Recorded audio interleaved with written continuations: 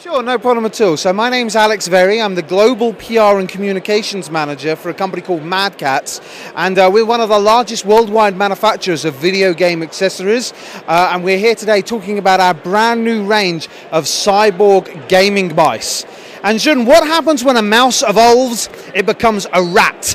So this is our brand new Cyborg Rat, RAT. And it's the last word in premium gaming mice. We're showing you just how far the mouse has come. Now, you know, a lot of different companies can add uh, extra DPIs or programmable buttons. But what we've done is we've tried to create the ultimate mouse to make sure that no matter how you play, no matter what your style, no matter how big you are, this mouse will adjust to fit the contours of your hands.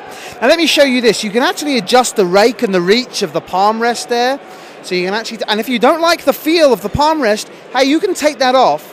And let me show you this comes with a whole tin of goodies up here, and I can adjust the palm rest and replace it with a rubberized textured palm rest. So no matter what style of play, no matter how you like to play, you can adjust all the different features on the mouse to fit your individual style of play. Now if I put this back here, I want to show you this.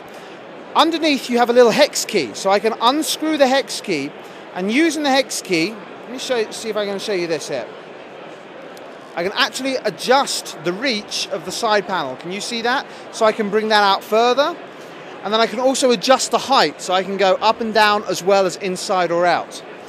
I got a little extra uh, implement here that I can attach to the side so I can give you a thumb rest for the side. If you want to put a thumb rest on, you can put a thumb rest to the side as well. So however you like to play, it will adjust to fit your individual needs. Around the side here, we've got something called the precision aim button.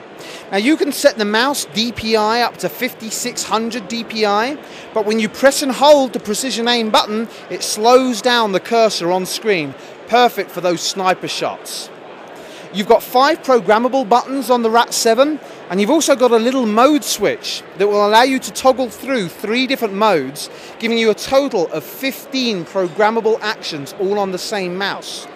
Around the rear, you've got a full metal chassis. This is not a plastic chassis, and it's got a series of removable weights, so you can take out the weights and you can add extra weight on. Perfect for your individual style of play. Well, the RAT is an entire range of products. So we have the RAT 3, the RAT 5, the RAT 7, and the RAT 9. The RAT 3 is the starter end of the market, and that's $59.99. It's the same form factor of the mouse, but doesn't have any of the adjustability. This is our flagship. This is the RAT 7, and this retails for $99.99. However, there is one up from that, which is the RAT 9, which is the same features and functionality, but it's completely wireless. And the RAT 9 comes with a really cool little desktop charging stand here, and it's got a rechargeable battery. It comes with two rechargeable batteries.